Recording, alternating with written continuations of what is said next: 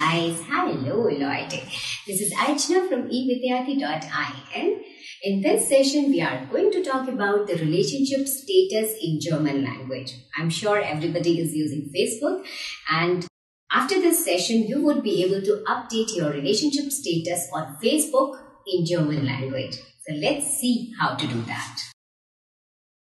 The German word for relationship status is Beziehungsstatus.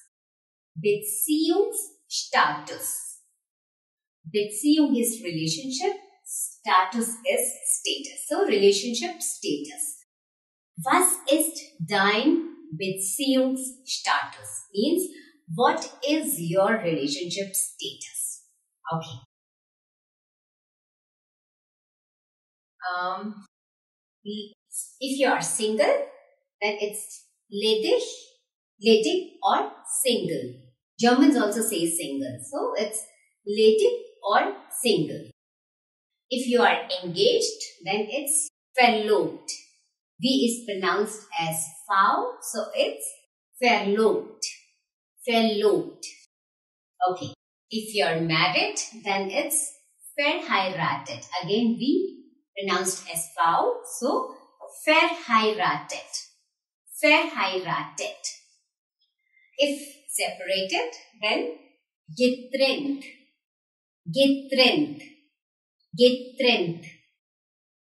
Okay.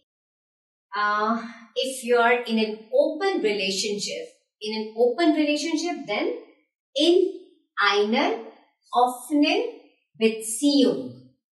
In einer offenen Beziehung. Offenen, offenen means open.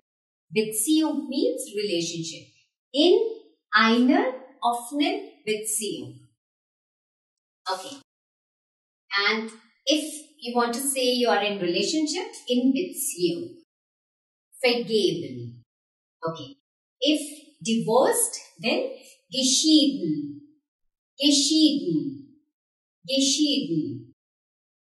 If widowed, then verwitwet. Verwitwet. Again, we pronounced as fa. Verwitwet. I hope you enjoyed the session and now you now you can try to update your status on Facebook in German language. In case you have any doubts, please do not hesitate to write us in the comment box below. We'll reply as soon as possible. See you in the next session. Till then, goodbye. Ciao.